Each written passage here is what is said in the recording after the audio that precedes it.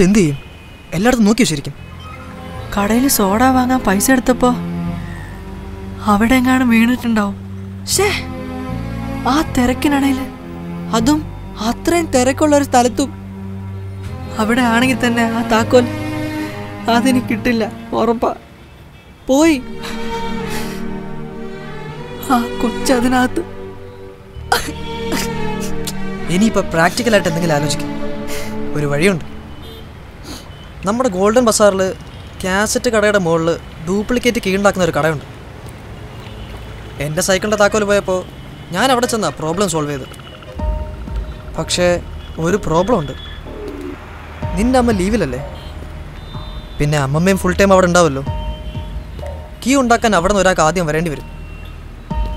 അങ്ങനെ വന്നുണ്ടാക്കി വാതിൽ തുറക്കുമ്പോൾ അല്ല കൊച്ചു ഓക്കെ ആണെങ്കിൽ നോ പ്രോബ്ലം വിളിച്ചിട്ട് മിണ്ടാട്ടമില്ലാത്ത സ്ഥിതിക്ക് അകത്താൾ വടിയായിട്ടിരിക്കുകയാണെങ്കിൽ?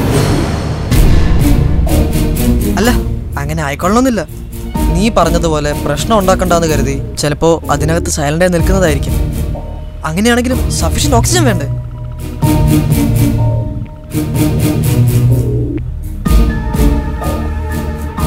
ഒരു കാര്യം ചെയ്യാം.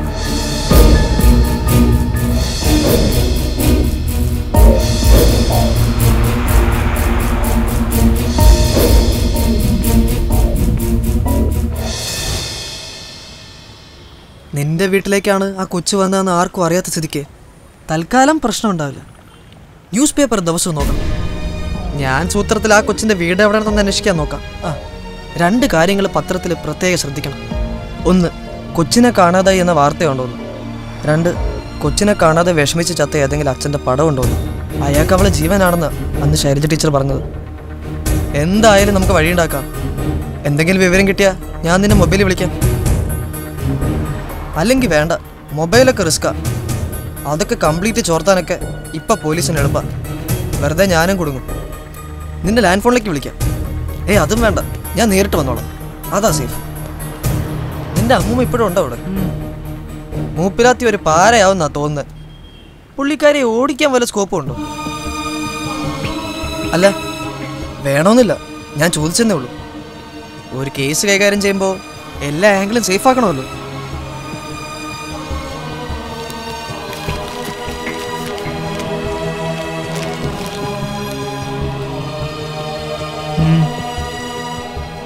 ഇതിപ്പോ സിൻഡ്രലയുടെ കഥ പോലെയായി. ചെരുപ്പ് മാത്രം ബാക്കി. ഉഗ്രം തെളിവുകളാ. ഇങ്ങതാ.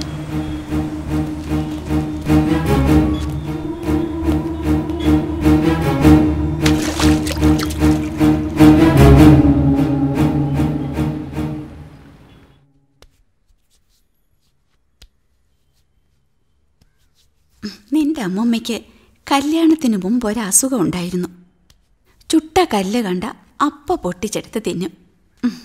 അന്നൊക്കെ വയസ്സായ ആളുകൾക്കും പേര് കഴിഞ്ഞ പെണ്ണുങ്ങൾക്കും ഒക്കെ മിറ്റത്ത് തീ കൂട്ടിയ വെള്ളം ചൂടാക്കണേ. കരിഞ്ഞ ചെങ്കല്ലും ഇഷ്ടിയും ഒക്കെ മിറ്റത്ത് എപ്പോഴും ഉണ്ടാവും. അതൊക്കെ പൊട്ടിച്ചെടുത്ത് നിന്റെ അമ്മമ്മ ആരും കാണാതെ സുഖമായിട്ടങ്ങ് തിന്നു. കല്യാണം കഴിക്കാൻ വരുന്ന അച്ഛൻ വലിയ ജന്മി. നാട്ടിൽ നിലയും വിലയുമുള്ള ആൾ.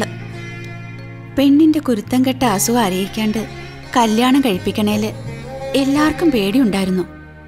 ഇതൊക്കെ അമ്മ തന്നെ പറഞ്ഞു കേട്ട കഥകളാട്ടോ. ആദ്യ രാത്രിയിൽ അച്ഛൻ അമ്മയോട് പറഞ്ഞു നിനക്ക് തരാൻ ഒരു വിശേഷപ്പെട്ട സമ്മാനം ഞാൻ കൊണ്ടുവന്നിട്ടുണ്ട്. കട്ടിലിനടിയിൽ നോക്കിക്കൊള്ളാൻ. ആദ്യ രാത്രിയിൽ പണക്കാരൻ ഭർത്താവ് തരുന്ന സമ്മാനമല്ലേ? അമ്മ നോക്കി നോക്കിയപ്പോ എന്താ? എന്താ? ചുട്ടെടുത്ത ഒരു കല്ല് മുഴുവനെ അപ്പിടി. ചിരിക്കാനുള്ള കഥയല്ല. എന്നിട്ട് എന്റെ ദുഷ്ടൻ അച്ഛൻ പാവ അമ്മയെക്കൊണ്ട് അതിന്റെ പാതിയോളം തീറ്റിച്ചു അത്രേ. അസുഖക്കാരി ഒളിപ്പിച്ച് കല്യാണം നടത്തിയതിന്റെ പക പോക്കാൻ.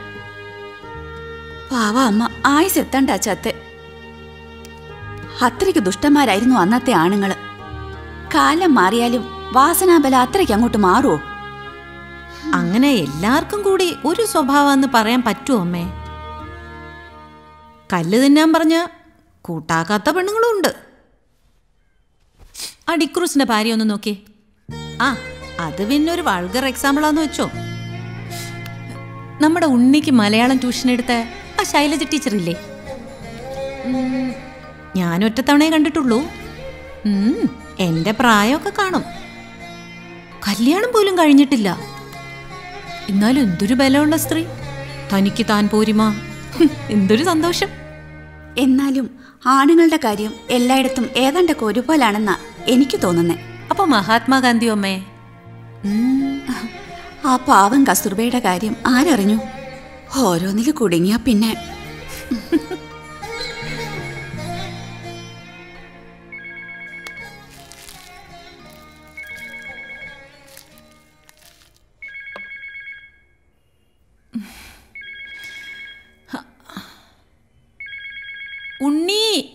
ഫോൺ ഒന്ന് എടുക്ക്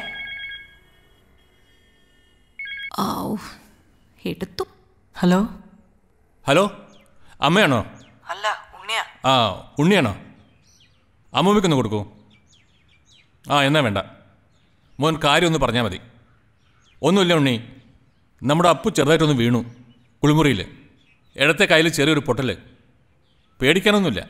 ഇതാ ഇപ്പം എന്റെ അടുത്ത് സുഖമായിട്ട് ഓറഞ്ചിൽ നിന്ന് കെടുക്കുക ഹലോ?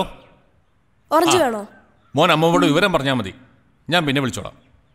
പേടിക്കാൻ ഒന്നില്ല എന്ന് പറയണേ പിന്നെ ഓടിപ്പാഞ്ഞ് വരാണ്ട് വിശേഷം ഒന്നുമില്ല എന്നും കേട്ടല്ലോ നീ നന്നായി പഠിക്കുന്നുണ്ടല്ലോ? എല്ലാത്തിനും എ പ്ലസ് വാങ്ങിച്ചാൽ മാമന്റെ വകുപ്പ് സമ്മാനമുണ്ട്. കേട്ടല്ലോ? ആ.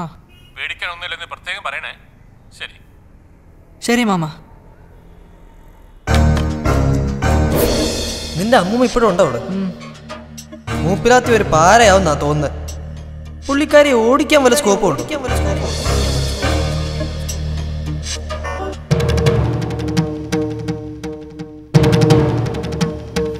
ആരായിരുന്നു ഉണ്ണി?